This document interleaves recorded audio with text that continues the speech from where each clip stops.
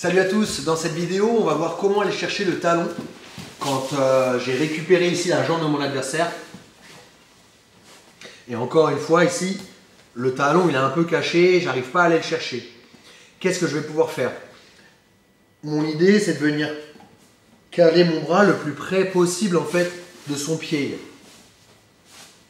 Une fois que je suis là en fait, mon projet c'est de lever son pied pour que son talon il arrive au niveau de mon, de mon avant-bras. Donc je peux venir prendre appui ici, je vais venir lever mon bassin et je vais venir caler mon, avant-bras sous le talon. D'accord? Donc je suis ici, je vais aller chercher le talon, je vais m'appuyer là, je vais lever mon bassin. Et je vais venir en même temps aller chercher son talon avec mon avant-bras. L'autre truc aussi, c'est que trop souvent, on cherche, c'est un peu l'obsession du talon. Le talon, le talon, le talon, on veut soumettre sur la clé de talon. Et en fait, on va aller chercher le talon beaucoup plus facilement si on met la pression ici sur les orteils avec l'arrière des aisselles. En allant chercher ici et mettant la pression, vous avez vu, on va exposer ici le talon. Alors que si jamais mon adversaire il est là, c'est beaucoup plus difficile.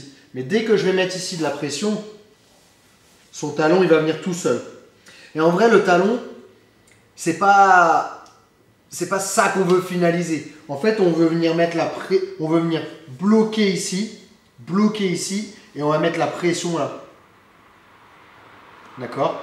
Ici, bloquer, bloquer et c'est comme ça qu'on va pouvoir finaliser. D'accord? Donc là, l'idée c'est d'aller venir chercher un bon contrôle.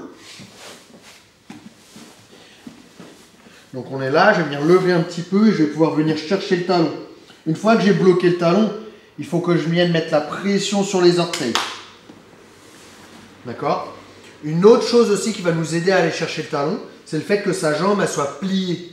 Si sa jambe est tendue, ça veut dire que c'est difficile d'aller chercher le talon.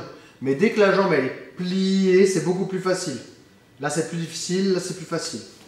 Donc ce que je peux chercher aussi à faire, c'est soit me rapprocher avec mes fesses, soit venir chercher ici le genou pour le plier et me rapprocher de lui.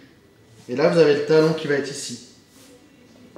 Je peux venir m'appuyer, prendre un appui, bien bloquer le talon et venir forcer ici sur ses orteils avec mon bassin sur son genou.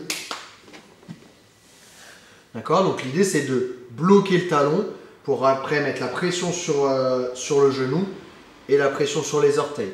C'est ça qui va faire qu'il y aura une pression dans sa jambe et qui va faire que mon adversaire tape sur cette clé-là. Donc c'est une position qui est intéressante. Euh, et trop souvent, on se retrouve bloqué, c'est pareil.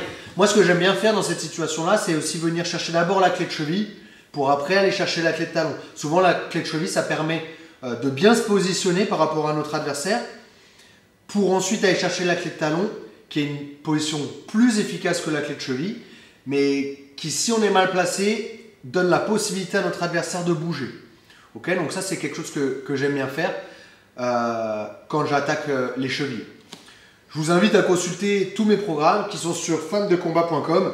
Fandecombat.com, c'est quoi? C'est une plateforme de vidéos en ligne avec des programmes. Un programme, c'est quoi? C'est des vidéos qui durent au total à peu près une heure et demie. Et sur une heure et demie, en fait, on n'aborde qu'un seul sujet dans lequel on rentre dans le détail et on essaie de vous donner toutes les armes pour que vous puissiez apprendre de chez vous ou que vous les regardiez aussi au club pour les travailler directement sur place. Voilà, donc je vous invite à consulter le site internet fandecombat.com et je vous retrouve dans la prochaine vidéo.